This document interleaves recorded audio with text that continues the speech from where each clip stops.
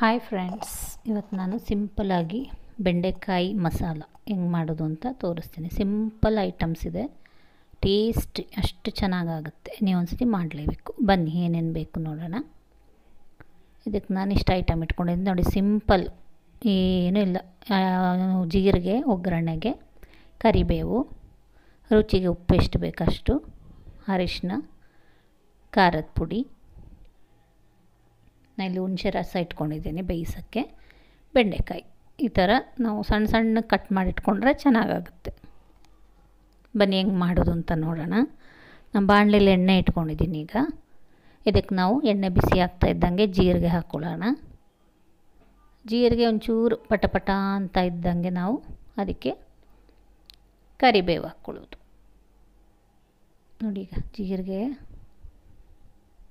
ಪಟ ಪಟ ಅಂತ ಇದೆ. ನೊರೆ ನೊರೆ ಬಂತು ನೋಡಿ ಎಣ್ಣೆಯಲ್ಲಿ ಈಗ ಇದಕ್ಕೆ ನಾವು ಕರಿಬೇವು ಹಾಕ್ಕೊಳ್ಳೋಣ ಒಂಚೂರು ದೂರ ಹೋಗಿ ಮೈ ಮೇಲೆ ಹಾರುತ್ತೆ ಇದಕ್ಕೀಗ ನಾವು ಬೆಂಡೆಕಾಯಿ ಹಾಕ್ಕೊಳ್ಳೋದು ಅದರಲ್ಲಿ ಒಂದು ಸ್ವಲ್ಪ ಫ್ರೈ ಮಾಡಬೇಕು ನಾವೀಗ. ಬೆಂಡೆಕಾಯಿ ಹಾಕ್ಕೊಂಡು ಅದನ್ನು ಎಣ್ಣೆಯಲ್ಲಿ ಒಂಚೂರು ಫ್ರೈ ಮಾಡ್ಕೊಳ್ಳೋಣ. ಬೆಂಡೆಕಾಯಿ ತುಂಬಾ ಒಳ್ಳೆಯದು ಡಯಾಬಿಟಿಕ್ ಇರೋರು ಬೆಳಿಗ್ಗೆ ನೀರಲ್ಲಿ ಇದನ್ನು ಕಟ್ ಮಾಡಿರೋದನ್ನ ಹಾಕ್ಕೊಂಡು ರಾತ್ರಿ ನೀರಲ್ಲಿ ಹಾಕಿಟ್ಟು ಬೆಳಿಗ್ಗೆ ಅದರ ನೀರು ಕುಡಿದ್ರೆ ತುಂಬ ಒಳ್ಳೆಯದು ಈಗ ಇದಕ್ಕೆ ನೋಡಿ ನಾವು ಡ್ರೈ ಮಸಾಲ, ಏನಂದರೆ ಖಾರದ ಪುಡಿ ಅರಿಶಿನ ಉಪ್ಪು. ಮೂರೇ ಮೂರು. ನೋಡೋದು ಅದು ಬೆಂಡೆಕಾಯಿ ಗೊತ್ತಲ್ಲ, ಒಂಥರ ಲೋಳೆ ಲೋಳೆ ಬಿಡುತ್ತೆ ನೋಡಿ. ಅದಕ್ಕೆ ಒಂಚೂರು ನಾವು ಎಣ್ಣೆಯಲ್ಲಿ ಫ್ರೈ ಮಾಡ್ಕೋಬೇಕು ಮಸಾಲೆ ಜೊತೆ ಹಾಕ್ಕೊಂಡು. ಉಪ್ಪು ನೀವು ಆಮೇಲೆ ಎಷ್ಟು ಬೇಕು ರುಚಿಗೆ ನೋಡಿಕೊಂಡು ಹಾಕ್ಕೊಳ್ಳಿ ನಾನೊಂದು ಅಂದಾಜಲ್ಲಿ ಹಾಕಿದ್ದೀನಿ, ಆಮೇಲೆ ಬೇಕಾದರೆ ನೋಡ್ಕೊಳ್ತೀನಿ. ಈಗ ಅದು ಫ್ರೈ ಆಗ್ತಿದ್ದಂಗೆ ಒಂಚೂರು ನಾವು ಹುಣಸೆ ನೆನ್, ನೆನೆಸ್ಕೊಂಡಿರೋದು ನೀರು ಹಾಕ್ಕೊಳ್ಳೋಣ ಸ್ವಲ್ಪ ಸಾಕು, ತುಂಬ ಹಾಕಬೇಡಿ.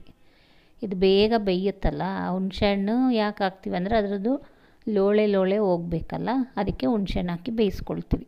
ಈಗ ಇದನ್ನು ನಾವು ಮುಚ್ಚಿಬಿಟ್ಟು ಸಿಮ್ಮಲ್ಲಿ ನೀರಷ್ಟೇ ಇರಬೇಕು ಒಂಚೂರೇ. ಮುಚ್ಚಿಟ್ಕೊಂಡು ಬೇಯಿಸ್ಕೊಳ್ಳೋಣ. ನೋಡಿ ಎಷ್ಟು ಚೆನ್ನಾಗಿ ಬಂದಿದೆ. ಈಗ ನೋಡಿ ಅಲ್ಲಿ ಹುಳೆ ಎಲ್ಲ ಹೋಗಿದೆ.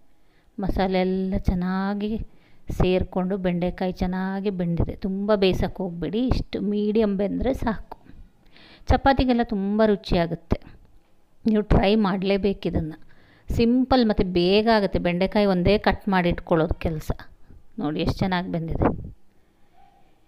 ಇಷ್ಟು ಬೆಂದರೆ ಸಾಕು ನಮಗೀಗ. ನೋಡಿ ರೆಡಿ ಆಯಿತು. ಚಪಾತಿಗೆ ರೆಡಿ ಆಯಿತು. ಬೆಂಡೆಕಾಯಿ ಪಲ್ಯ, ಬಿಸಿ ಬಿಸಿ ಕಲ್ಲರೆಲ್ಲ ಎಷ್ಟು ಚೆನ್ನಾಗಿ ಬಂದಿದೆ ನೋಡಿ. ನೀವು ಮನೇಲಿ ಟ್ರೈ ಮಾಡಲೇಬೇಕಿದನ್ನು. ಈಸಿ ಏನೊಂದು ಬೆಂಡೆಕಾಯಿ ಕಟ್ ಮಾಡೋದು ಒಂದೇ ಕೆಲಸ ತೊಳ್ಕೊಂಡು ಅದು ಬಿಟ್ಟರೆ ಒಂದು ಟೆನ್ ಫಿಫ್ಟೀನ್ ಮಿನಿಟ್ಸ್ ಒಳಗೆ ಆಗೋಗುತ್ತೆ ಇದು. ಅರ್ಜೆಂಟಿಗೆ ಅಂದರೆ ಆಗೋಗುತ್ತೆ ಪಲ್ಯ. ಇದನ್ನು ನೀವು ಟ್ರೈ ಮಾಡ್ತೀರಾ ಅಂತ ಅಂದ್ಕೊಂಡಿದ್ದೀನಿ ಇಷ್ಟ ಆದರೆ ಲೈಕ್ ಮಾಡಿ. ನಿಮ್ಮ ಫ್ರೆಂಡ್ಸ್ ಜೊತೆ ಶೇರ್ ಮಾಡಿ ಮತ್ತು ನನ್ನದು ಚಾನಲ್ನ ಸಬ್ಸ್ಕ್ರೈಬ್ ಮಾಡಿ. Thank you bye bye